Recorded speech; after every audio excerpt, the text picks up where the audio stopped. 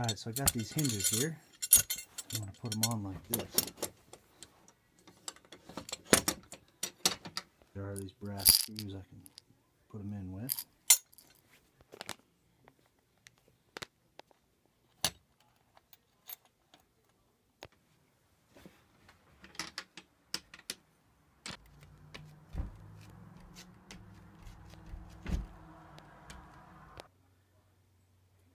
Got the hinges on.